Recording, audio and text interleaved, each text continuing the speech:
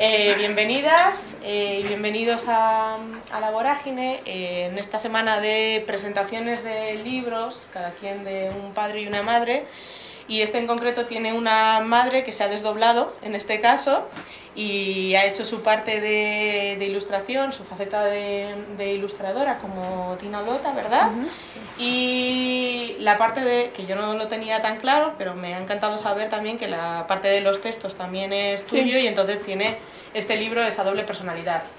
Y también es muy bonito y, y agradable saber que proyectos como este nacen gracias al apoyo de la gente, ¿no? Y entonces, en este caso de un crowdfunding, que ya nos vas a contar cómo ha sido el funcionamiento de todo, ha sido posible que esta idea que tenías en, la cabeza pues haya tomado forma y la verdad es que una forma muy bonita.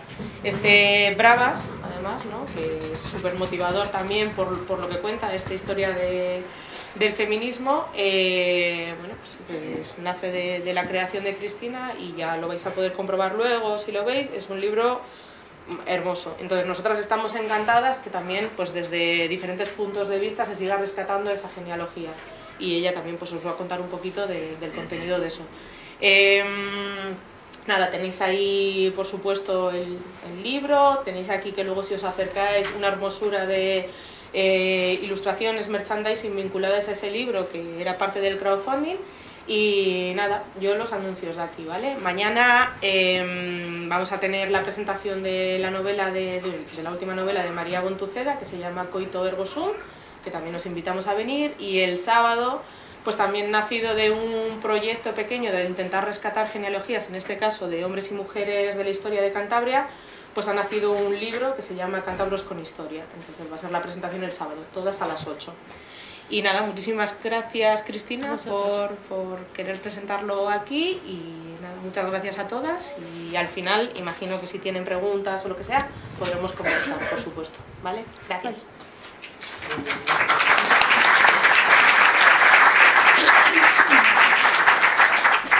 Bueno, ¿se me oye bien? Sí, ¿no? Bueno, gracias por venir a todas y a todos. Eh, no esperaba esta foro, la verdad. no sé, bueno, estoy impresionada en todos los sentidos. Em, bueno, como este libro es como de primeras veces todo, como desde el planteamiento hasta, bueno, como ha dicho Carmen, en plan los textos y las ilustraciones las he hecho yo, y he sido la maquetadora, y he sido la editora y la editorial, y he tenido ayuda con los textos, pero limitada. Entonces, eh, obviamente es la primera vez que presento un libro, entonces siendo la primera vez que presento un libro, los las presentaciones canónicas está la autora o el autor y luego una persona que se ha leído el libro y que sabe del libro. Bueno, en mi caso no hay nadie que se haya leído el libro. Entonces, bueno, lo voy a hacer como a mí me parezca. Entonces, este es un protocolo que me he inventado. Eh, que bueno, pues eh, viene a colación del libro Bravas porque es la historia del feminismo, es como para, os explican las instrucciones eh, fáciles y como para leerlo relajadamente, ¿sabes? Como para que tú lo leas y no, no te entren prejuicios, ni el patriarcado venga y te, y te diga, no, esto no lo puedes leer, sé qué, no, como relajadamente, ¿no? Entonces, eh, son cuatro cositas que vamos a repasar entre todos y todas y que, bueno, yo dentro de la persona feminista que soy, me voy a poner pedagógica hoy y os voy a explicar unas cositas, ¿vale? Eh, este término, ¿vale? La foto es preciosa, en plan, em, presentando un libro de la historia del feminismo y la primera diapositiva es la palabra feminazis, ¿no? Es como, guay, la, diapositiva es preciosa. Este término está súper popularizado y, bueno, eh, denota varias cosas. Por un lado, ignorancia y por otro lado, ignorancia del término feminismo y del nazismo, de las dos cosas. Es como que no tienes ni idea de nada.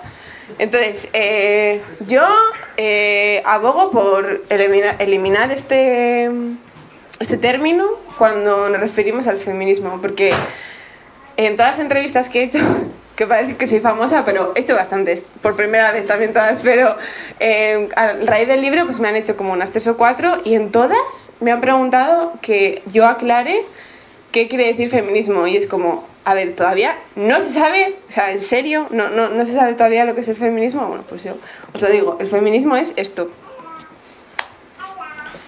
esta es la descripción que he buscado en la RAE haciendo una búsqueda mm, básica. No, la RAE no es una bandera del feminismo para nada, pero bueno, es como el diccionario de referencia y es, es como el, el, un poco la, a dónde recurriríamos si queremos saber el significado de una palabra. Pues en este caso es, está claro, principio de igualdad de los derechos de la mujer y del hombre.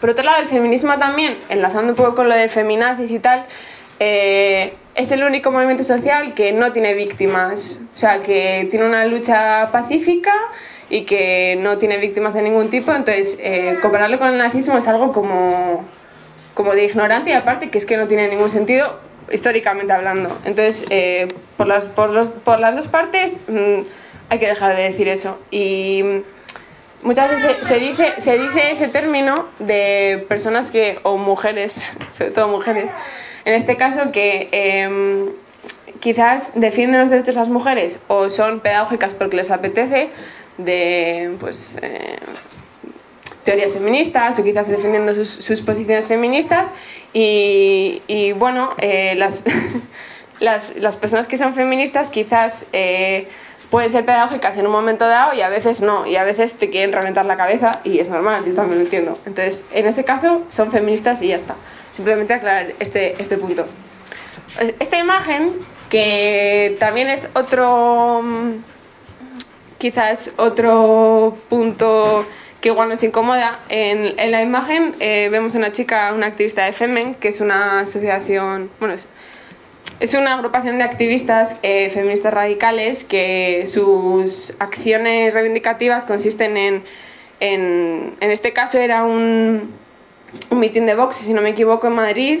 Y entonces decidieron, siempre van con mensajes en el cuerpo y van descubiertas arriba, se las, se las ve el pecho. Y es como, eh, mucha gente, eh, esto lo enlazo con que mucha gente se siente eh, incómoda ante comportamientos feministas de este tipo que son, eh, que son como... Mm, como que te atacan a la vista, ¿no? Como que te incomodan directamente y te señalan. Y entonces tú ves tetas en el telediario y como que te, te, no te gusta verlas, ¿no? Entonces yo abogo por ir un poco más allá y analizar dentro de cada uno de nosotros y, pensar, ¿esto por qué, me incomoda realmente? ¿Por qué eh, ver unas tetas en el telediario me incomoda? Y esta chica, por ejemplo, eh, esta Femen en concreto, pues está en todas las redes sociales y tal, y no pueden subir sus fotos en original, no se pueden ver pezones eh, femeninos, pero en cambio los masculinos y no hay ningún problema que se vean, ¿no?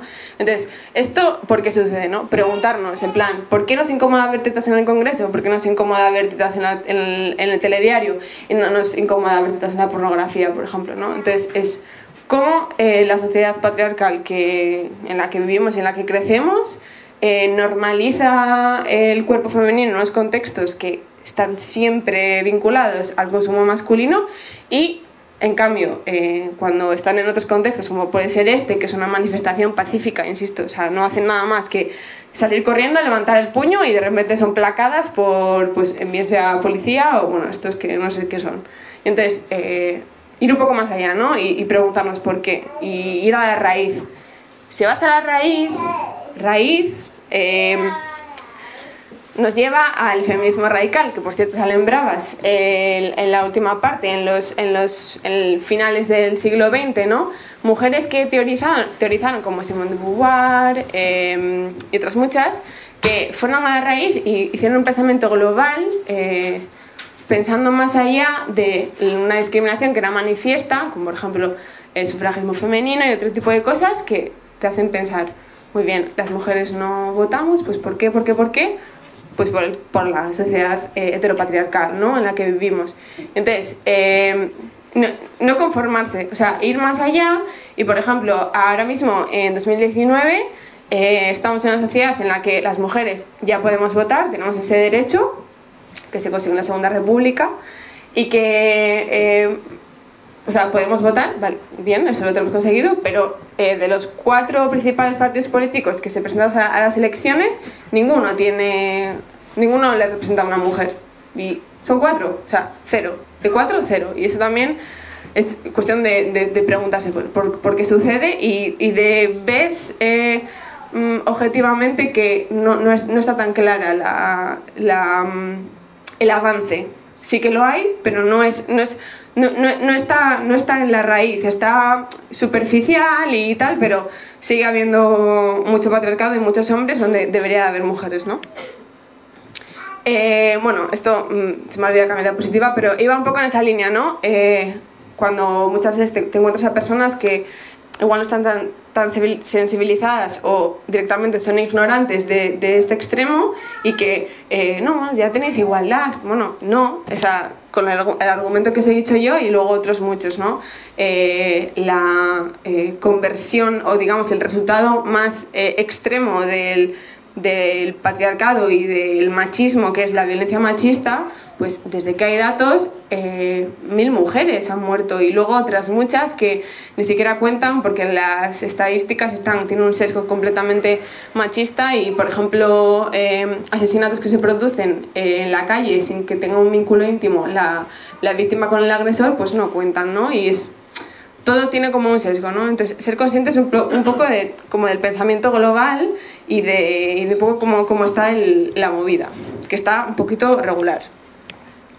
Vale, eh, ahora mm, ya ha pasado aquí como el discurso discurso previo, ¿no? las instrucciones, ¿no? todos estos, estos eh, argumentos que se ha dado como para ya estar, ya sois, conscientes de lo que os he dicho, ¿no? ya estáis como más relajados y más ligeros y ligeras. Entonces ahora ya podéis coger bravas y ya lo leéis y ya os va a encantar. Tiene dibujos para que no os canséis de leer y todo, para que de esto que no tiene mucha letra, tiene letra grande además, ¿eh? 12 puntos, Bruno. Vale, y entonces, eh, bueno, como, como ha dicho antes eh, Carmen, eh, mm, Bravas es un proyecto hecho por la gente, porque yo no tenía dinero para hacer un, un libro y entonces decidí hacer un crowdfunding y también por la experiencia que, que ha supuesto un poco todo el libro, que ha sido, como ya os digo, de primeras veces, el crowdfunding también ha sido una primera vez y eh, he hecho un, un merchandising que está aquí a, la- aquí a mi derecha y luego el libro. Y mm, ha sido un crowdfunding eh, muy exitoso y que ha participado mucha gente. Al principio, obviamente, participa la gente que te conoce, pero luego como que se ha ido mm, expandiendo y se ha ido un libro a Chile, otro libro se ha ido a Francia y bueno, libros por ahí que en, la vida me hubiese imaginado yo que hubiese vendido un libro a un chileno, pero bueno. Una reflexión así que doy, doy al aire eh, es que eh, no sé el porcentaje porque tampoco lo he calculado, pero igual más de un 80 o de un 85% de las personas que van a comprar libros son mujeres, ¿no? Que es un poco... Bueno, no pasa nada. Yo ten- tengo unos formularios, o sea, el Berkami te genera unos formularios para enviar las recompensas y tal, o sea, dirección y tal. Entonces yo escribía nombres de hombres por las calles que por el hecho de que se fuesen mecenas, ¿no? O sea, que también eso da que pensar, ¿no? O sea, eh, hay hombres que es general no sé qué, no sé qué, y luego eh, no hay casi hombres mecenas, que los hay, pero pocos. Y también salen hombres, hombres en bravas, pero pocos también. Pero bueno, así es la historia, yo no me la he inventado. Así que eh, os voy a poner un vídeo que hice para el crowdfunding de Bravas, pues si no lo habéis visto, que me ha animado. Y ya luego entro en Bravas en, en concreto, ¿vale? ¿Os parece?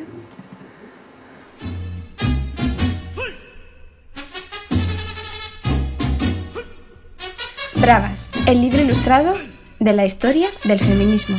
Bravas es el resultado de una historia contada a medias. Nace de la necesidad de crear referentes femeninos a lo largo y ancho del planeta, contando así la historia completa. Empezaremos por definir qué es una brava. Una brava, de latín bravus, es un adjetivo dicho de una mujer determinante e influyente para la consecución de derechos fundamentales, pero históricamente ignorada.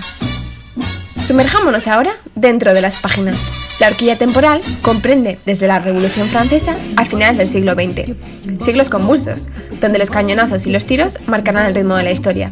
En el contexto de insurrección francesa hablaremos, entre otras, de Olympe de Gaulle y su fatídico final por luchar por los derechos de las mujeres. Fuera del continente europeo, en el Japón del siglo XIX, hablaremos desde Toshiko Kishida hasta la estadounidense Betty Friedan. Nos asomaremos a la habitación propia de Virginia Woolf y repasaremos la consecución del sufragismo femenino, desde las icónicas sufragistas británicas hasta, por ejemplo, España, en la época de la Segunda República. Analizaremos lo que supuso en términos políticos y sociales. También repasaremos algunas bravas en el mundo del arte, como la brillante Ana Mendieta, y viajaremos al espacio con Valentina Tereshova. Todo esto y mucho más lo encontraremos en el libro Bravas. Este proyecto no va a ser posible si no existe la financiación, por lo que he creado una campaña de crowdfunding o micromecenazgo para recaudar 1.500 euros, que servirán para imprimir la primera edición del libro y los gastos de distribución. Si queréis verlo con más detalle e incluso convertiros en mecenas, ya está abierta la campaña en Mercami. Tenemos 40 días. Está, ese es. Eh, bueno, pues este era el vídeo eh, que resume un poco, bueno, resume muchísimo lo que es Bravas en, en, en- su totalidad. Eh, bueno, esta es, esta es una imagen que aparece al final del libro, que es todas, todas las mujeres que aparecen en el, en el, en el libro de Bravas. Y bueno, eh, voy a hacer un repaso así rápido por el índice.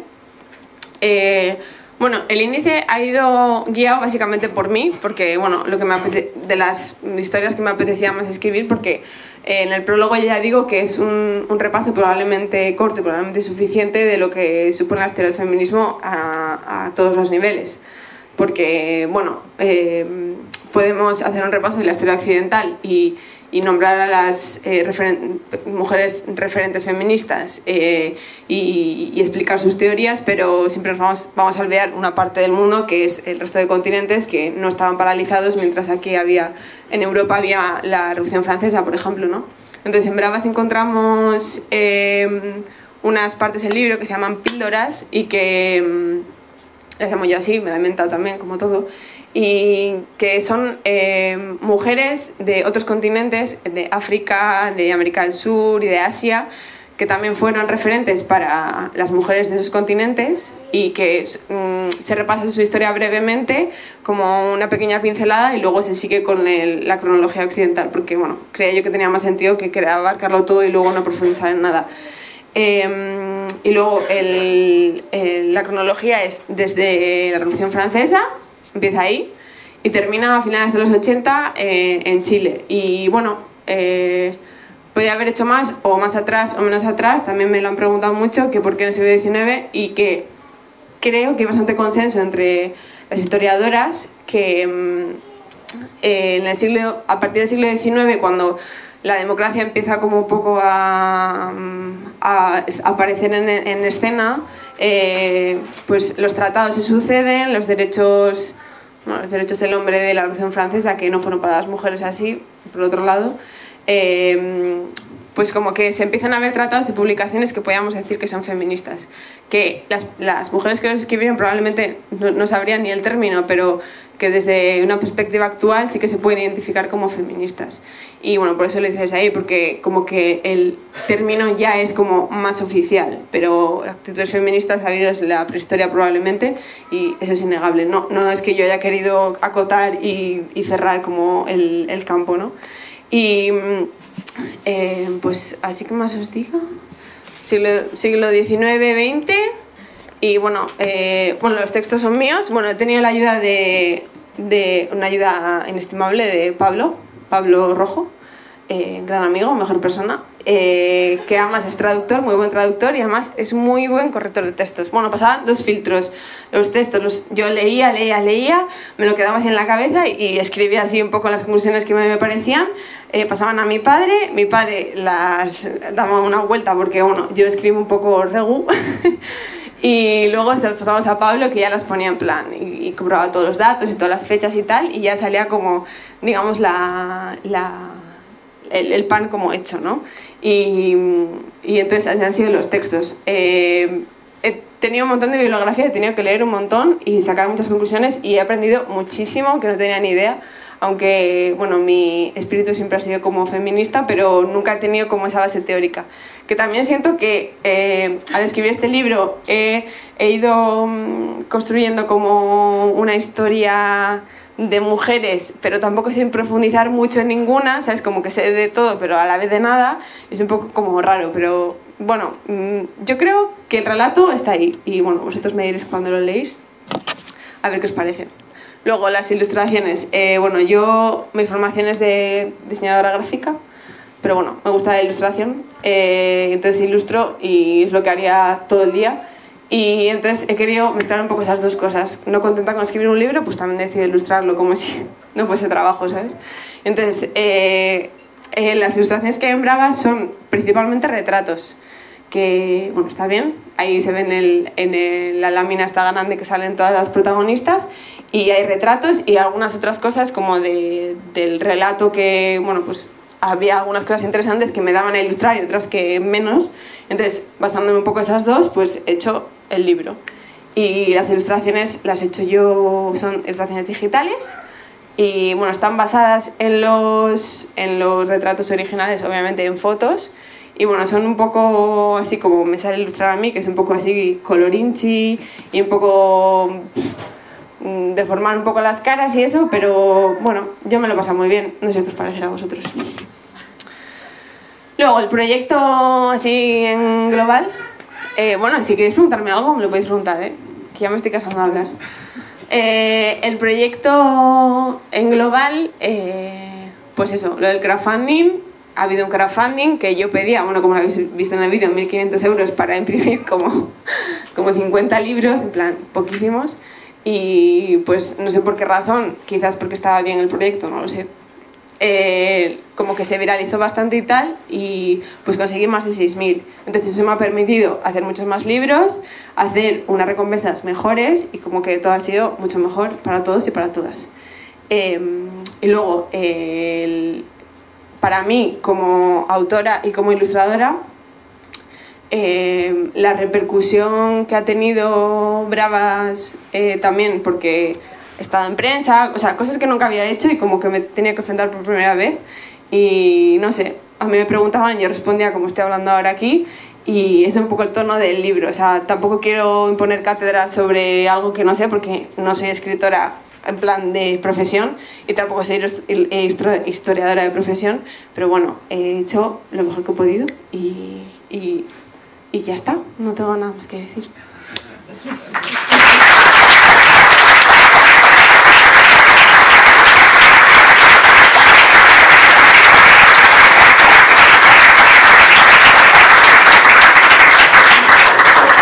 Si tenéis alguna pregunta, yo le agradezco. Dime. ¿Cómo te, ¿Cómo te motivaste para hacer el libro? ¿Qué es lo que te impulsó a hacer? Si tú, como diseñadora gráfica, dijiste, me voy a poner a hacer un libro, así, ¿cómo te salió? ¿Por qué? Eh, me encantaría que fuera una historia como mucho más guay, pero fue un trabajo de fin de grado. pero bueno, cada uno tiene su motivación, no pasa nada. Eh, Pero lo has llevado a... Claro, claro, lo he llevado a, a tope. O sea, porque podía haber hecho un fanzine, ¿sabes? También. Entonces, no, he hecho un libro. Sí, eh, la motivación es que yo acabo este año la carrera, entonces ha sido como, tengo que hacer un trabajo fin de grado, y entonces dije, hago el feminismo, porque yo estoy loca con eso, ¿sabes? O sea, me encanta, a tope. Además me inspira muchísimo y, y es como que está en mí y yo es que no puedo. Y entonces dije, pues esto. Y hice el libro y lo escribí, y, pero mucho, mucho trabajo, muchas horas de encierro y de, y de silla, mucha silla. Y, pero bueno, bien contenta. Esa, esa ha sido mi motivación. O sea, ojalá hubiese soñado algo en plan guay y me hubiese levantado esa mañana y hubiese dicho, voy a hacer un crowdfunding, pero no. Ese es el segundo paso ya. Ese segundo paso. Ese, bravas dos. No, que sí, que sí, ya lo tengo pensado.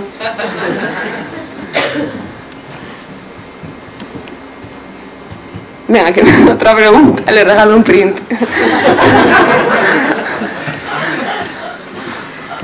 Sí. Ah, perdón, es que tienes, tienes, tienes- tienes- Vale, Elo, Elo, dime.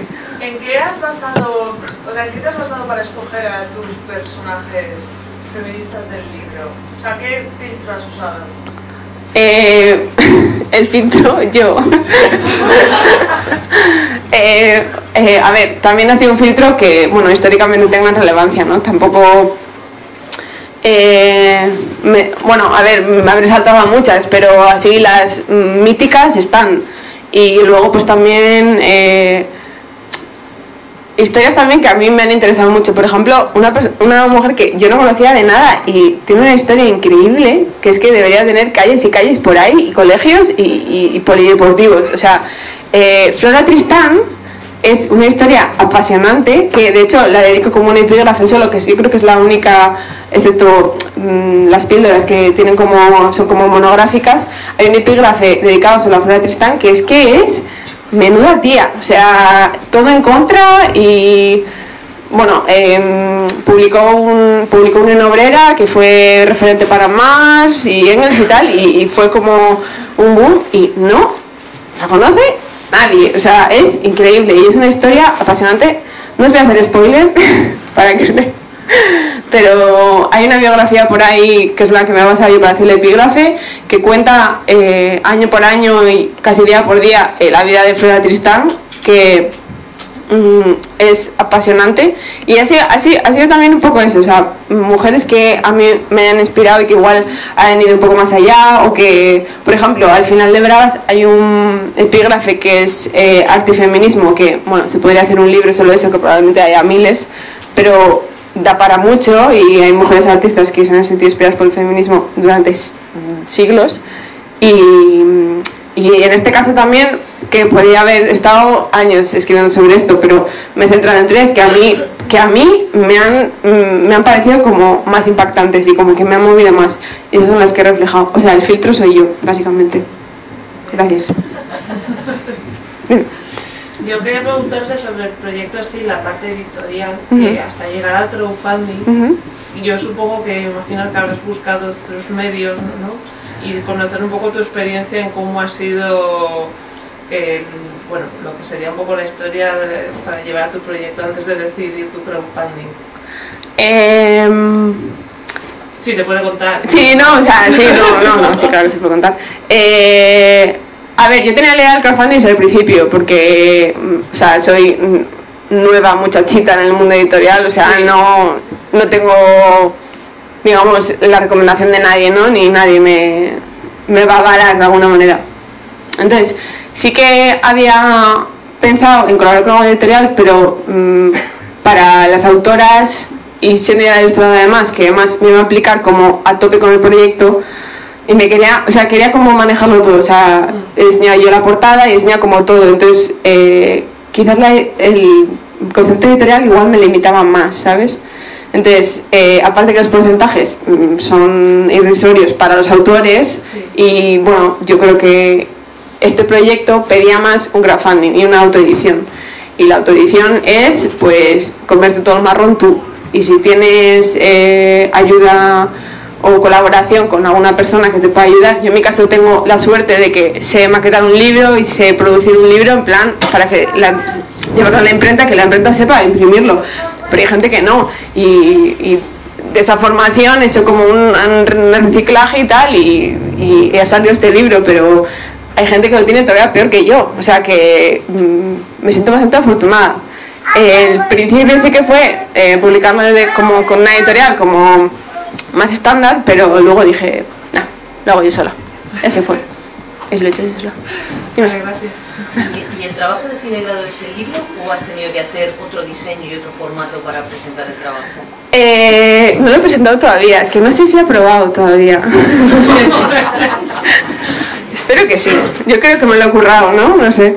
Eh, si no vamos todos y reventamos la universidad y bueno.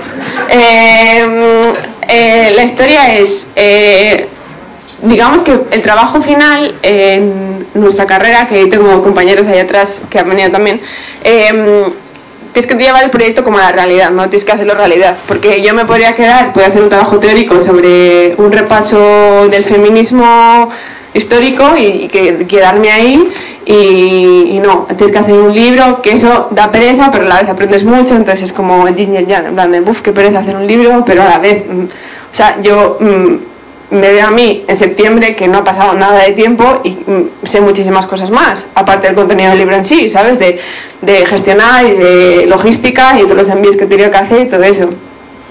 Entonces, el documento, o sea, lo que yo tengo que presentar en el TFG es una memoria del proyecto en sí. O sea, el libro ni siquiera no, no lo tengo ni por qué presentar, ¿sabes? Yo lo puedo dar en el tribunal que me evalúa, pero no, no lo tengo que hacer en sí.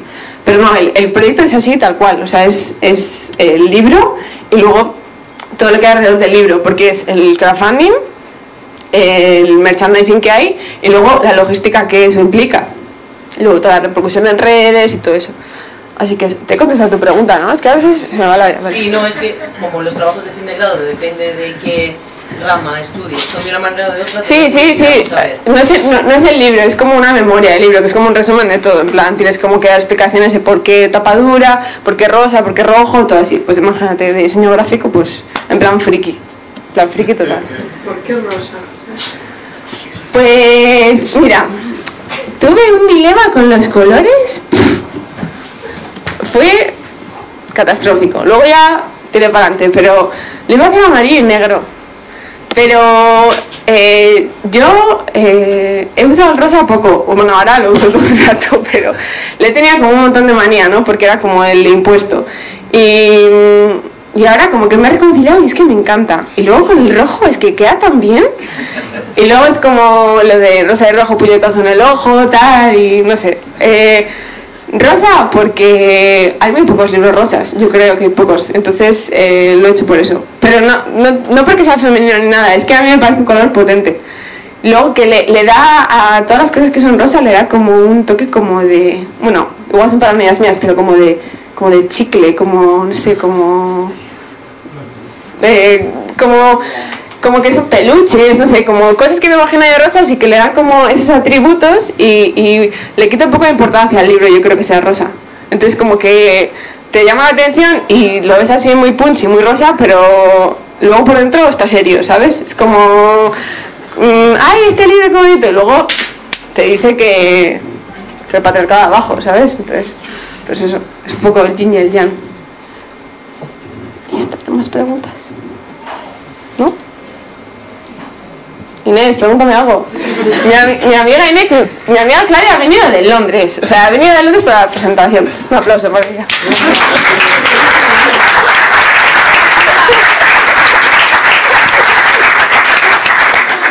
Mi amiga Inés ha venido de Madrid y ha tardado más que Claudia. Desde luego. Esos son amigas. Sí, sí, sí, eso sí. sí. Pues, eh, no sé, si no tienes ninguna otra pregunta, yo me voy. No sé.